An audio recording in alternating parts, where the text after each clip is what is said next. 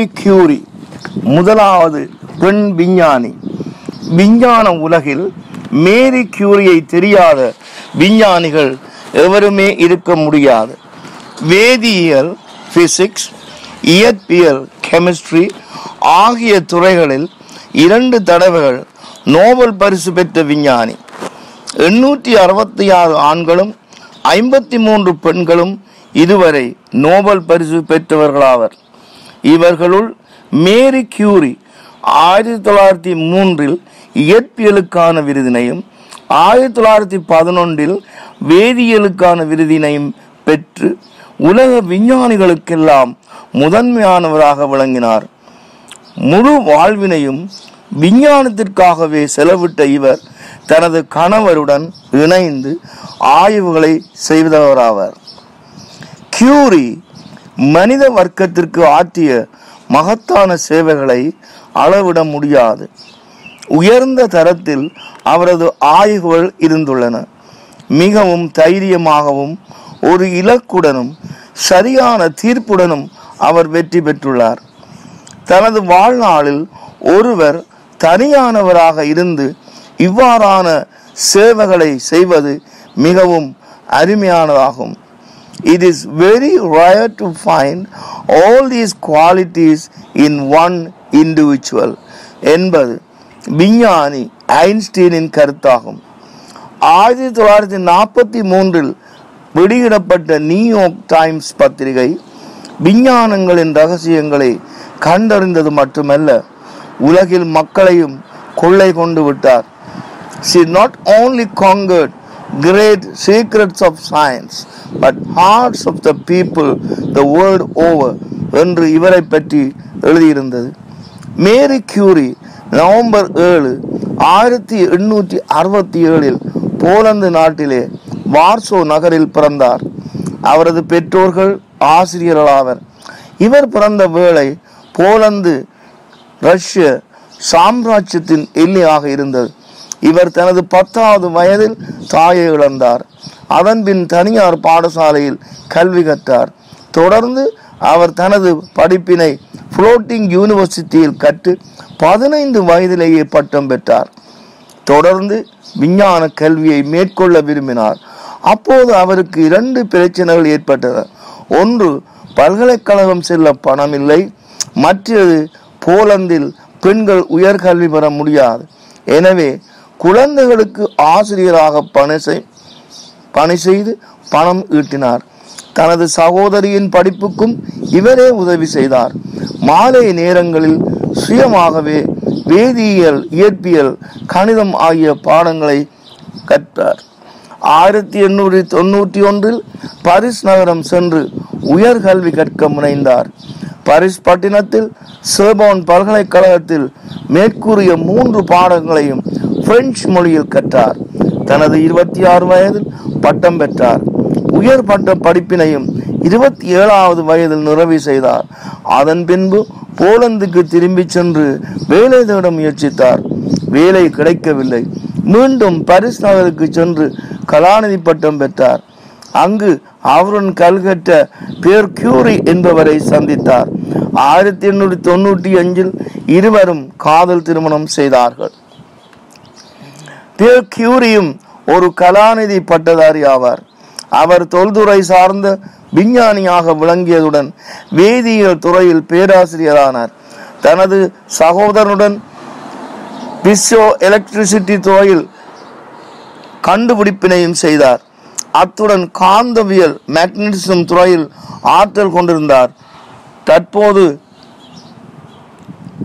அழைக்கப்படுகின்ற வேதியியல் வேதியியலில் பாவிக்கப்படும் Curie point என்பதனை அவரே கண்டறிந்தார்.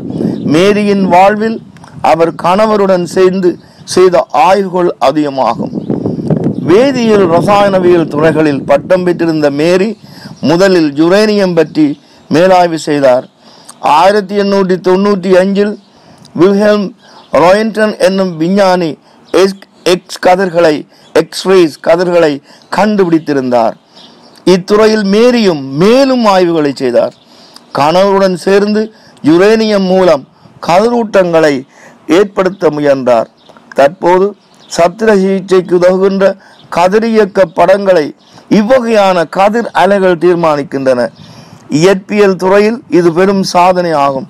ஆயிரத்தி எண்ணூற்றி தொண்ணூற்றி எட்டில் இருவரும் சேர்ந்து பொலோனியம் ரேடியம் மூலகங்களை கண்டறிந்தார்கள். ஆயிரத்தி தொள்ளாயிரத்தி மூன்றில் மேரி பியர் ஹென்றி மெக்யூரல் மூவருக்கும் இயற்பியல் துறையில் நோபல் பரிசு கிடைத்தது. பொருட்களில் உள்ள கதிரியக்கத்தை கண்டறிந்த முதல் விஞ்ஞானி இவராவர் கணவரோடு இணைந்து இந்நோபல் பரிசினை பெற்றாலும் நோபல் பரிசு பெற்ற முதலாவது பெண் விஞ்ஞானியாக உயர்ந்தார். தொடர்ந்து Davy medal Matteucci medal Actonian விருதுகள் அவருக்கு கிடைத்தன. ஆயிரத்தி தொள்ளாயிரத்தி ஆறாம் ஆண்டு தனது கணவரை விபத்தில் இழந்தார். ஆயினும் நிலைகுலையாத மேரி பேராசிரியர் பதவியை தொடர்ந்து வகித்தார்.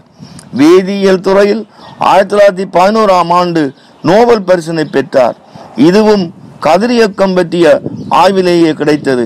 இது ரேடியம் பொலோனியம் பற்றிய ஆய்வாகும். மேரி கியூரியின் ஆய்வின் மூலம் பல்வேறு எக்ஸ் கதிர்கள் கண்டறியப்பட்டன. பல கருவிகளும் உருவாகின. முதலாவது உலக யுத்தத்தின் போது அவசரகால வண்டிகள் மூலம் எக்ஸ் கதிர் கருவிகளை காவி செல்லப்பட்டன. சர்வதேச செஞ்சிலுவ சங்கம் தனது கதிரியக்க சேவையில் இவரது கண்டுபிடிப்புகளை பயன்படுத்தியது. ஆயிரத்தி தொள்ளாயிரத்தி பதினாலில் உலக யுத்தம் ஆரம்பித்த வேளை பெருமளவு நேரத்தை இந்த எக்ஸ் கதிர் கருவிகளின் தயாரிப்பு சேவையில் ஈடுபடுத்தினார். காவி செல்லக்கூடிய கருவிகளை போர்ட்டபிள் இன்ஸ்ட்ருமெண்ட் உருவாக்கினார். இவை லிட்டில் கியூரிஸ் என்று அழைக்கப்பட்டன. இரண்டாயிரத்தி பதினொன்றில் இவரது பரிசு பெற்ற நூறாவது வருடத்தை சர்வதேச வேதியியல் வருடமாக இன்டர்நேஷனல் இயர் ஆஃப் கெமிஸ்ட்ரி ஐக்கிய நாடு சபை பிரகடனம் செய்தது. முதலாம் உலக யுத்தத்தின் பின்பு தனது ரேடியம் ஆராய்ச்சி நிலையத்திற்காக பணம் சேர்த்து ஆயிரத்தி தொள்ளாயிரத்தி இருபத்தி ஒன்று ஆயிரத்தி தொள்ளாயிரத்தி இருபத்தி ஒன்பதாம் ஆண்டுகளில் ஐக்கிய அமெரிக்காவுக்கு சென்று ரேடியம் வாங்கவும் வார்சோவில் ஆராய்ச்சி நிலையத்தை நிறுவவும் அவரால் முடிந்தது. அவருக்கு அப்பாஸ்டிக் அனிமியா என்று சொல்லப்படுகின்ற செங்குருதி கலங்களை பாதிக்கின்ற நோய் ஏற்பட்டது. இதற்கு காரணம் அவர் எந்த நேரமும் தன்னுடன் வைத்திருந்த கதிரிய கதிரியக்க பொருட்கள் தான் ரேடியோ ஆக்டிவ் மெட்டீரியல்ஸ் என்று கருதப்படுகிறது. எலும்பு மச்சையில் செங்குருதி கலங்கள் உருவாகின்ற பொழுது அது நின்று போனது. இதனால் உலக புகழ்பெற்ற விஞ்ஞான மேதை ஜூலை நாலு ஆயிரத்தி தொள்ளாயிரத்தி முப்பத்தி நாலில் இவ்வுலகை விட்டு மறைந்தார். அவரது உடல் அவரது கணவரது உடலுக்கு அருகில் ஸ்கெமிக்ஸ் என்ற இடத்தில் புதைக்கப்பட்டது. ஆயிரத்தி தொள்ளாயிரத்தி தொண்ணூற்றி அஞ்சில் இருவரது உடல்களும் மீண்டும் எடுக்கப்பட்டு சிறந்த பிரசைகளுக்கான புதையிடமான பேந்தியோன் பேரிஸுக்கு மாற்றப்பட்டது. அவர் எப்போதும் கூறும் வாக்கியம் ஒருவர் என்ன செய்து முடிக்கப்பட்டுள்ளது என்பதனை ஒருபோதும் அவதானிப்பதில்லை. செய்யப்பட எஞ்சியுள்ளது என்ன என்பதனை மட்டுமே ஒருவர் பார்ப்பார். One never notices what has been done one can only see what remains to be done என்கிறார். ஆயிரத்தி தொள்ளாயிரத்தி தொண்ணூற்றி நாலில் மூலகங்களின் கால வரிசை ஏற்படுத்தப்பட்ட வேளையில் கியூரியம் என்ற பெயரில் ஒரு மூலகம் இணைக்கப்பட்டது. அதாவது சிஎம் என்ற பெயரில் இது உள்ளது. மேரி கியூர் செய்த கதிரியக்க ஆய- ஆய்வினை கௌரவிக்கும் விதமாகவே இப்பெயர் சூட்டப்பெற்றதாகும். மேரி கியூரியின் மகளான ஐரீன் ஜாலியட் கியூரி தன் கணவருடன் சேர்ந்து ஆய்வு செய்து ஆயிரத்தி தொள்ளாயிரத்தி முப்பத்தி ஐந்தில் வேதியியலுக்கான நோபல் பரிசை பெற்றார். பெற்ற மகளான ஈவ் கியூரி உலக புகழ் பெற்ற எழுத்தாளர் ஆவார். இவருடைய பெயரில் பல ஆராய்ச்சி நிலையங்கள் உள்ளன. பரிசில் கியூரி இன்ஸ்டிடியூட் உள்ளது. கியூரி இன்ஸ்டிடியூட்டில் மருத்துவ உயிரியல் துறையில் உலக பிரசித்தி பெற்றதாகும். ஐரோப்பிய யூனியன் இளம் விஞ்ஞானிகள் சேவை ஆற்றுவதற்காக Marie Sklodowska Curie action fellowship programme என்பதனை உருவாக்கியுள்ளது. போலந்தில் பியரே மேரி கியூரி யூனிவர்சிட்டி புற்றுநோய் ஆராய்ச்சிக்கான Marie Sklodowska Curie institute on oncology அமைக்கப்பட்டன. ஆயிரத்தி தொள்ளாயிரத்தி நாற்பத்தி எட்டில் மேரி கியூரி கேன்சர் கேர் நிறுவப்பட்டுள்ளது. இரு அரு- அருங்காட்சியகங்கள் அவரது பெயரை வைத்துள்ளன. மேரியா ஸ்கொலஸ்கா கியூரி மியூசியம் வார்சோவில் நிறுவப்பட்டது. பரிசில் மியூசிக் கியூரி நிறுவப்பட்டது. உலகம் போலந்தின் polytechnic Poznan university Krakow Jagiellonian university Warsaw polytechnic ஆகிய கல்வி மையங்கள் இவருக்கு கௌரவ கலாநிதி பட்டங்களை வழங்கின. அமெரிக்காவில் அயோட்டா சிக்மா பி எனப்படும் பெண் விஞ்ஞானிகள் சங்கம் இவரை அங்கத்தவராக்கியது. போலீஸ் கெமிக்கல் சொசைட்டியில் கௌரவ உறுப்பினரானார். உலகம் முழுவதிலும் நினைவு கூறப்படும் விதத்தில் விஞ்ஞான உலகம் இவரை கௌரவித்துள்ளது.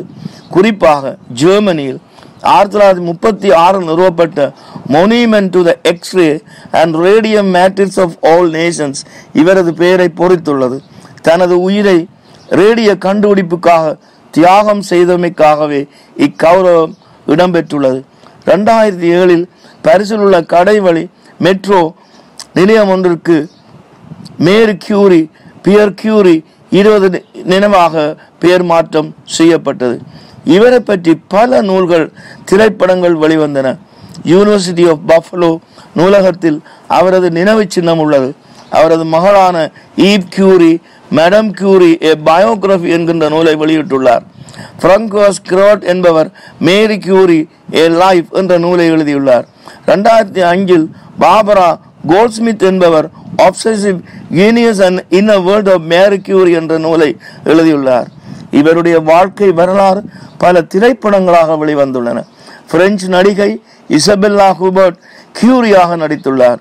கிரீர் கார்சன் மேடம் கியூரி திரைப்படத்தில் நடித்து ஒஸ்கார் விருதுக்கு பரிந்துரை செய்யப்பட்டார். ரெண்டாயிரத்தி பதினாறில் Marie Curie the courage of knowledge என்கின்ற திரைப்படம் ஐரோப்பாவில் வெளியானது.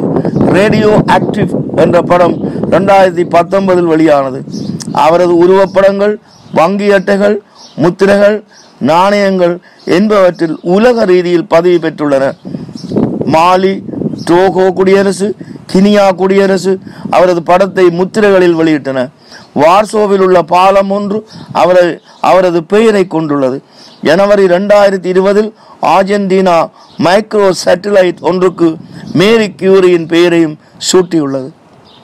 மேரி கியூரியின் வாழ்க்கை வரலாற்றினை நோக்கும்போது விஞ்ஞானியான இவர் ஏனைய விஞ்ஞானிகளுக்கெல்லாம் ஒரு கலங்கரை விளக்கமாக திகழ்ந்தது தெளிவாகிறது. எத்தனையோ துன்பங்களுக்கூடாக தனது வாழ்வையை துன்பங்களுக்கூடாக தனது வாழ்க்கையை ஆய்வுத்துறையில் அர்ப்பணித்த அவரது தத்துணிவு எவருக்கும் இருந்ததில்லை. அவரது ஒ- ஒவ்வொரு அங்குல நகர்வும் விஞ்ஞான உலகத்திற்கே ஆகும். அவரால் கண்டுபிடிக்கப்பட்ட ரேடியம் புலோனியம் மற்றும் கதிரியக்கம் என்பன இன்று வரை நிலைபெறுடையதாக உள்ளன.